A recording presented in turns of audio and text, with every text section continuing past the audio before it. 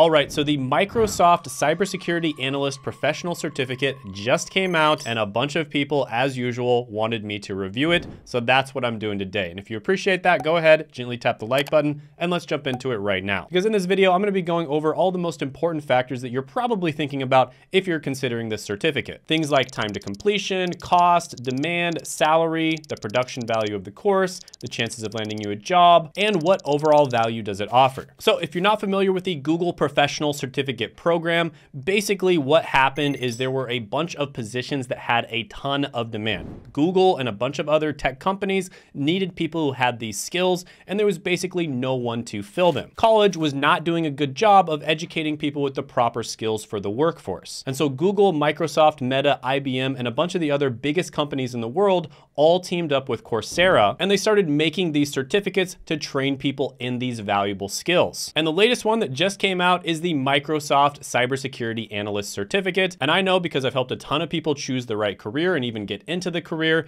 that this is one of those careers that has a ton of demand. There are hundreds of thousands of cybersecurity positions that companies are hiring for. Now, by the way, if you want to check it out, I will be putting a link down in the pinned comment and the description below. And I believe there is a 14 day free trial. So you can literally just try it out for free. But first, let's go ahead and talk about the time to completion. Now, on the website, it says that this course is going to take about six months, and that's if you study 10 hours per week. Almost all of the other Coursera courses that I have covered take much less time than this. They say that it takes six months because let's be honest, it kind of sounds better. But in reality, if you study a little harder, you can finish this in something like a month. So a lot of the time for the Google IT certificate, for instance, a lot of people were reporting that they were able to finish it in a month. Some of the other certificates, it might be like a month or two. So it does kind of depend on how hard the certificates are. But with that being said, chances are you can finish it much faster than six months, right? So that's pretty good. It's a lot faster than college. It's even faster than a boot camp. Boot camps typically take somewhere around six to 12 months. Now at this time, it's free for the first 14 days. Uh, I don't know if that's going to be true if you're watching this like three months from now because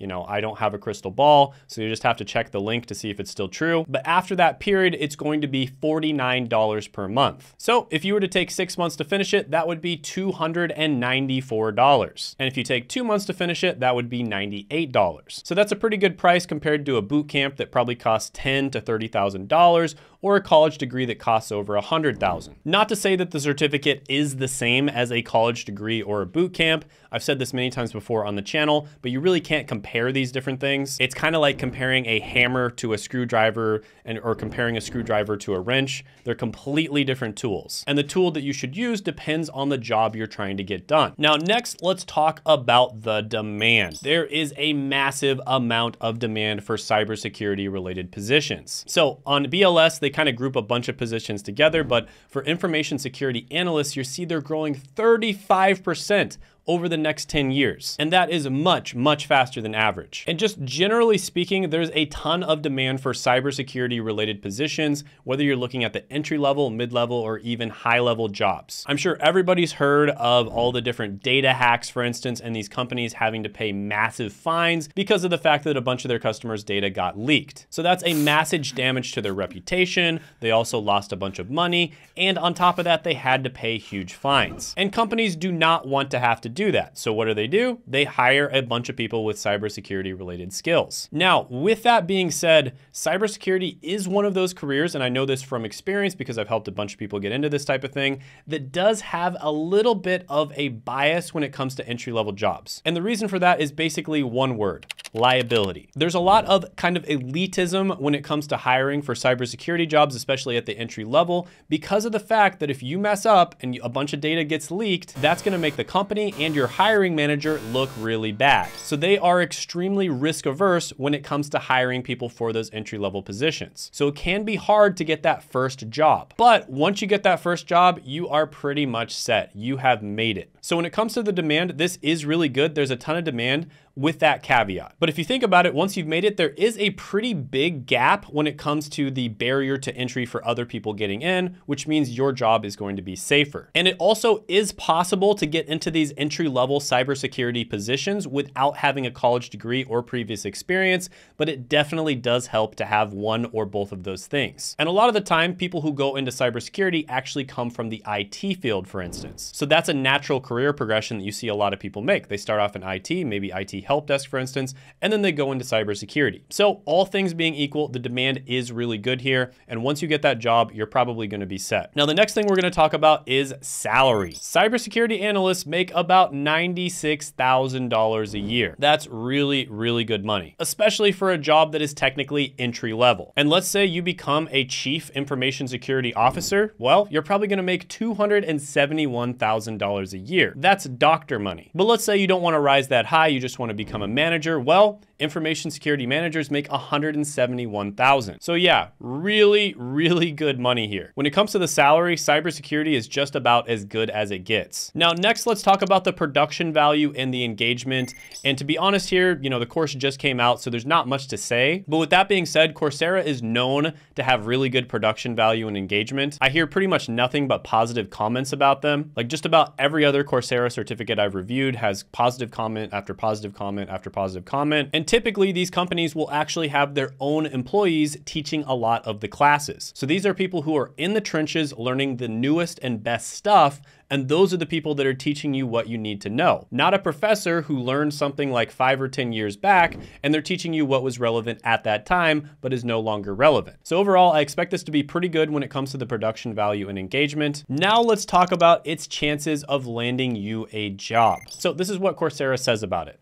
Build job-ready skills for an in-demand career in the field of cybersecurity. The cybersecurity skills you learn in this program prepare you for an entry-level role as a cybersecurity analyst. This program also prepares you for entry-level roles in information security, security compliance, and identity and access management sectors. So they straight up say that you can land a job with just the cybersecurity certificate. Now, I do believe that's true. I do believe that some people out there will land a job with just a certificate and of course a lot of self-study. But with that being said, the average person is probably going to have to take further certificates and certifications, and they're going to have to put a significant amount of work into their portfolio. So the big value proposition I see from these Coursera certs is yes, sometimes they can actually land you a job, but usually they're just gonna be there to help you land a job, right? Most of the time, you're gonna have to do some more studying on the side. You're gonna have to build a portfolio, which they do help you build a portfolio, but you're gonna have to add to it. And that's completely fine. I mean, how can you expect a $49 a month certificate program to land you a job, right? You're paying $49 a month. You're expecting it to land you like a $97,000 a year job. Most of the time, that's probably not gonna work out. But let's talk about what this cert is going to do for you. First of all, it is gonna train you on the foundations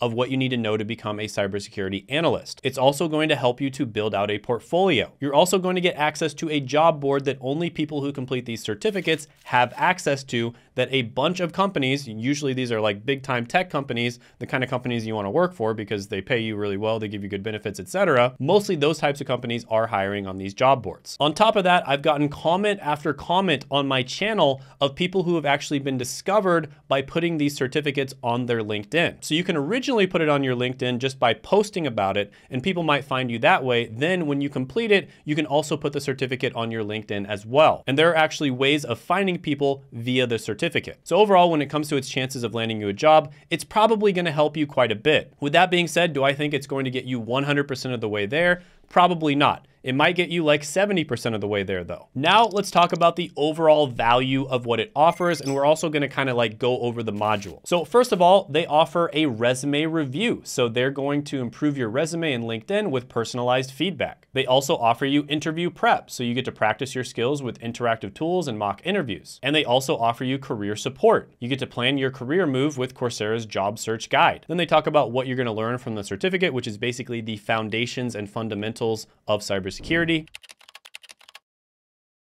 This exam can be very valuable to you because it measures your knowledge about concepts of security, compliance, and identity, capabilities of Microsoft Azure Active Directory, part of Microsoft Entra, capabilities of Microsoft Security Solutions, and capabilities of Microsoft Compliance Solutions. You can take it on multiple languages like English, Japanese, Chinese, Korean, French, Spanish, Portuguese, Russian, Arabic, Indonesian, German, traditional Chinese, and Italian. There's also a study guide, and you can take a practice exam and assessment. And on top of that, you can schedule an exam with Pearson VUE or Certiport. The passing score is 700, and you may be eligible for ACE college credit if you pass this certification exam. Again, taking this exam allows you to have an advantage in the field of cybersecurity since you will have a better understanding of how Microsoft SCI solutions can span across various solution areas and can provide a holistic and end-to-end -end solution. And let's go over all the different courses within the module. So course one is Introduction to Computers and Operating Systems and Security. Course two is Introduction to Networking and Cloud Computing. Course three is Cybersecurity Threat Vectors and Mitigation. Course four is Cybersecurity Identity and Access Solutions using Azure AD.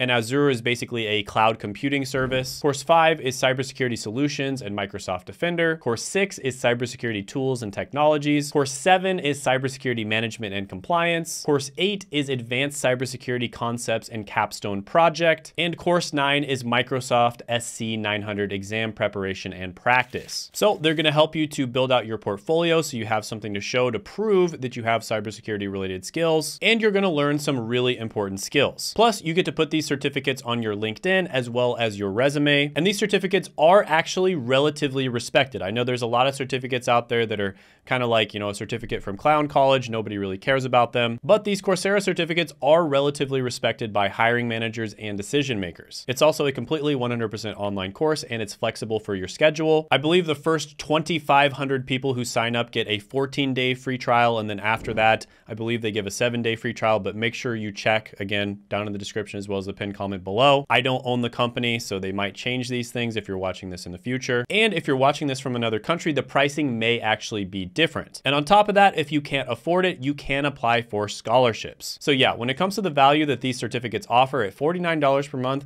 you're probably not gonna find anything else out there that has the same amount of value for the price. So overall, initial impressions on this Microsoft Cybersecurity Analyst Professional Certificate are two big thumbs up.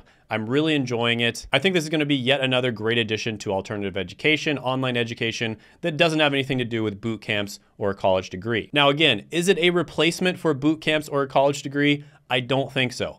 I think that all of these have their place. Just like a hammer doesn't replace a wrench or a screwdriver. Which one you should pick depends on your particular circumstances, your goals, your plans, etc. But I think another big value proposition of this that almost nobody talks about is the fact that if you subscribe to Coursera, like if you do Coursera Plus, for instance, you get access to 7,000 different courses and you can kind of dip your toe in a bunch of different careers. And again, a lot of these careers are taught by people who are currently working at these companies. So this this isn't some theoretical knowledge that a professor is teaching you that was true like five or 10 years ago. This is what's actually being taught and being used in the workplace right now. And you get to dip your toe in a bunch of different careers. So if you check out the cybersecurity certificate, you don't like it, maybe you're halfway through module one, well, that's great. You can move on to the IT certificate, or you can move on to the data analytics certificate. And if you don't like that, you can check out the project management certificate, right? I think you get my point. So this is really a low risk, potentially high reward move, and the value is definitely there. So overall, I really like the certificate. Definitely give it a look. Like I said, there's a free trial, so you can just check it out. Also, I wanna make this completely clear. I am an affiliate of Coursera. So if you click the link down below, I will get a small commission from that. But I was actually recommending these Coursera certs before they even reached out to me to set up a partnership. In fact, I think that's probably the reason why they did reach out to me. So back then I had no incentive to say that these were good, and I actually said they were really good. And you can check out the first video I ever did on the Google certificates on the channel if you'd like. And since doing that video, I've gotten tons of positive comments and feedback from my students about these Coursera certs. And if you enjoyed this video, you can check out my top five online certificates that are actually worth it video by clicking right here.